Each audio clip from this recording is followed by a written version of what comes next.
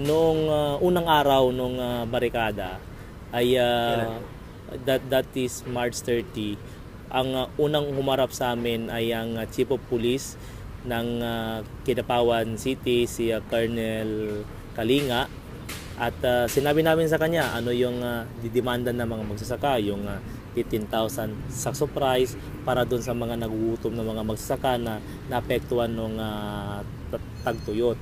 At uh, maya maya humating ang kanyang uh, mataas na pulis si uh, Deputy Director Colonel Alexander Tagum. Ganun din, sinabi namin sa kanya na ang kailangan po namin makausap ay si Governor Lala Mendoza,